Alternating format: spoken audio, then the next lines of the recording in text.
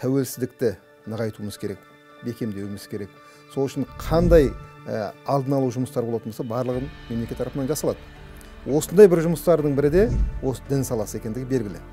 Елімізді рухани тұрғыдан байыту үшін сонымен қатар рухани құндылықтарымызға ешқандай залал келмеу үшін біз бұл дінтану сараптамасын жүргізуге міндеттіміз. Адамдарды рухани тұрғыдан сақтандыру үшін былайша айтқан кезде діни сүзгі. Қазақстан республикасының діни қызмет және діни бірлестіктер туралы заңы бар. Сол заңда арнайы бап қарастырылған дінтану сараптамасына деген. Осы 2020 жылдың өзінде теріс қорытындалған діни әдебиеттердің пайыздық көрсеткіші 4-6 пайыз ғана болды. Әлеуметтік желілердің ішінде 1700-ден аса ә, әлеуметтік желі парақшасына біз теріс қорытынды бердік. Ол ә, әлеуметтік желілердің барлығын біз ақпарат комитетіне жолдаймыз. Олар бұғаттау шараларымен айналысады.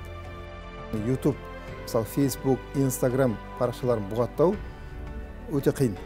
Штаб пәтерлері шетелде болғандықтан олар ол нәрсені орындамайды бір әрпін өзгертеді да қайтадан шығара береді. Сол аудиторияны қайтадан жинап ала салады.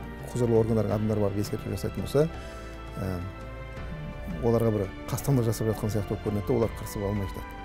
Бірақ кейін ә, жауапкершілікке тартылған кезде бастарынан тиген таяқты сол кезде ғана түсінетін жастар да да надандық деп айтамыз ба сауатсыздық деп айтамыз ба көрсоқырлық деп айтамыз ба бұған енді әртүрлі ат қоюға да болады. Бірақ адам өзінің санасын ашу керек сияқты. Тек қана бір нәрсемен ғана шектеліп қалмай оқу керек. Іздену керек білу керек.